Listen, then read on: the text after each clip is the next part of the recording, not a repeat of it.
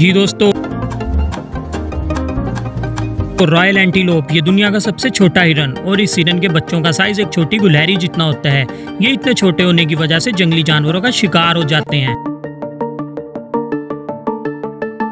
B hummingbird ये bird दुनिया का सबसे छोटा बर्ड है और ये एक मक्खी जितना होता है और ये बर्ड अक्सर मीठे और रस वाले फलों पर ही पाया जाता है।